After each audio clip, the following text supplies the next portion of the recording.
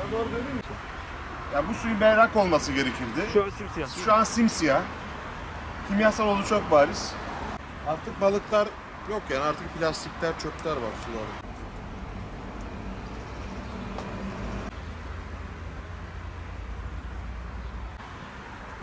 Dikkat et Burak çok yakın.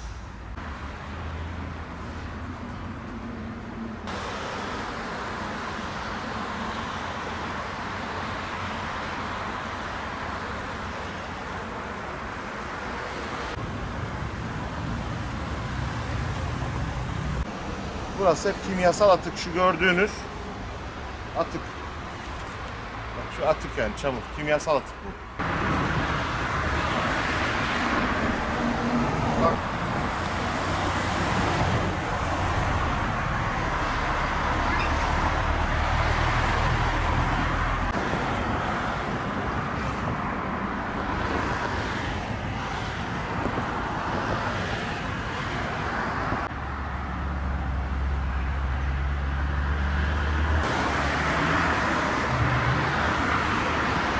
Müdürlüğü yapıyordu. Oranın ruhsat işi ve bana bir şey demişlerdi. Belli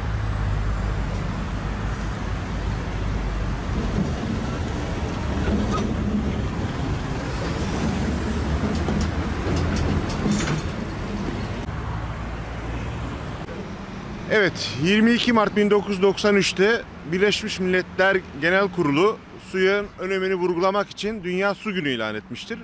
O günden bugüne de her 22 Mart'ta yerel yönetimler, hükümetler, sivil toplum kuruluşlar, çevreciler suyun önemini vurgulayan etkinlikler yapmaktadır. Ama bugün burada görüyoruz ki artık suyun önemini vurgulayan etkinlikler değil, acil eylem planlarıyla karar vericilerin suyun daha sağlıklı bir şekilde topluma ulaşabilmesi için acil eylem planları yapması gerekmektedir. Çünkü Dünya Sağlık Örgütü'nün verilerine göre dünyada 2 milyara yakın insan sağlıklı ve temiz suya erişemediğinden her gün ortalama 30 bine yakın insan ölmektedir. Milyonlarca da insanın buna bağlı hastalıklardan dolayı hayat kalitesinin düşürüldüğünü ifade etmektedir. Sizinle daha önce de yapmış olduğumuz haberlerde gördük ki işte de şundan birkaç ay önce başta Bursa olmak üzere Türkiye'nin birçok noktasında iklim krizi nedeniyle, ısınma nedeniyle, küresel ısınma nedeniyle gerekli yağışı almayan şehirlerimizdeki barajlarımızda ciddi kuruluklar söz konusu.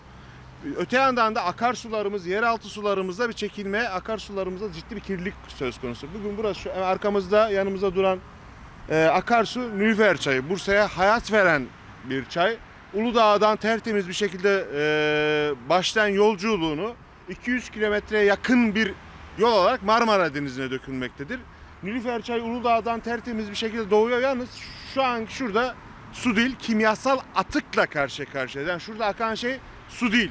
H2O değil yani bildiğimiz su değil. Şurada bir tahlil yapsak H2O'ya yani suya rastlayamayız. Burada kimyasal atık akmaktadır.